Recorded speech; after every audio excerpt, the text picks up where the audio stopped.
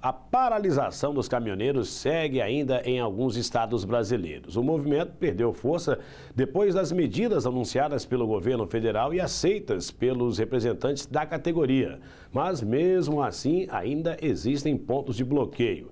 Aqui em Colatina, por exemplo, o número de manifestantes diminuiu nos dois locais de concentração na BR-259.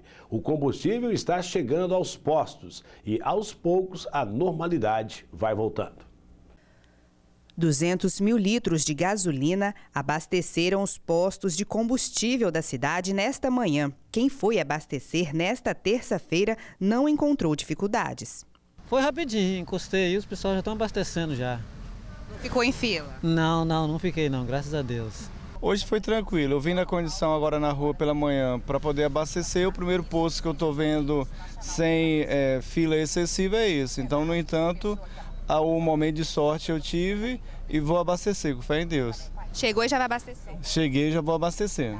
Em uma ronda, pelos postos da cidade, a situação era a mesma, sem muitas filas.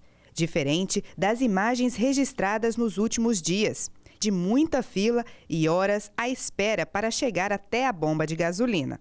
Nesta terça-feira, o movimento nos postos de combustível está mais tranquilo aqui em Colatina. O motorista chega e logo consegue abastecer seu carro ou sua motocicleta. Mas o preço do combustível teve uma alteração para o consumidor. Neste posto, por exemplo, o preço registrado antes da greve dos caminhoneiros era de R$ 4,48. Agora é de R$ 4,69. O dono do posto não quis gravar entrevista, mas explicou que o preço anterior era devido a uma promoção para quem pagasse em dinheiro. E agora, devido à dificuldade em conseguir a mercadoria, os preços foram igualados para dinheiro ou cartão de crédito.